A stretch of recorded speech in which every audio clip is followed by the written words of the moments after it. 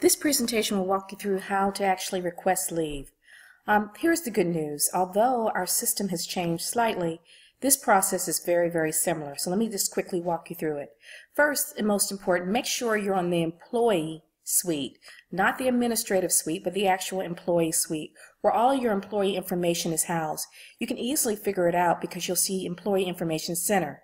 As long as you see that, you're in the right place. Go ahead and click Employee Information Center. And if you do, you'll see that a menu options will come up. You can view your pay stubs, of course, request leave, change your PIN, view your information. You can also um, do some purchase requisitions and budget inquiries in this same window. But for the purposes of this presentation, let's focus on requesting leave. So click Request Leave.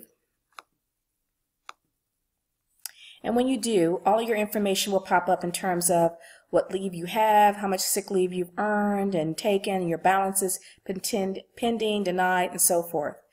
To request leave, though, just simply come over here and look for Add Record.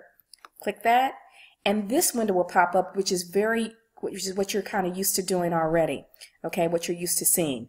So you list the type of leave you're requesting. And what I love about this new system, it'll show you how much leave you actually have left, right? Which is pretty nice. So if you want to take sick leave, let's go ahead and put sick leave in.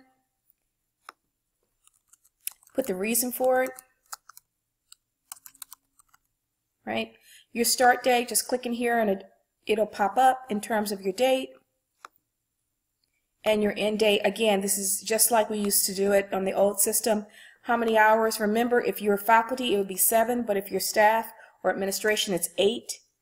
And of course, check off the day that that week, that day that it represents. If it's more than one day, of course, just put two, right? So since it's just one day, and you simply hit next, I'm going to actually not, I'm scared to hit next because if I hit next, it may go in. so let me pick, let me pick a different, let me stop this. I got to do a funny, say stop. One of the nicest features under the new Employee Suite is the ability to look up vendor codes very, very quickly and easily. All you have to do is log in, again under the Employee Suite, and click up and click on Look Up Vendor Code, as I'm doing right here.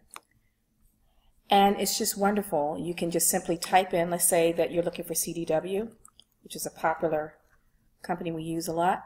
Click on Go, and there you go. There's the CDW information um, for you to look it up. Let's look up another one, Quill, and hit Go. And there you go. You have the code and you also have the name and the, and the street information and zip code. So again, just another great feature. Hope we found this video helpful.